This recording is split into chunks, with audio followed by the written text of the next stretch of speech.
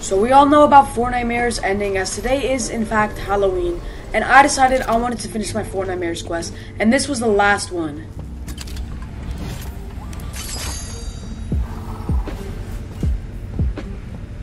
As you can see, I finished it with just an hour and one minute left.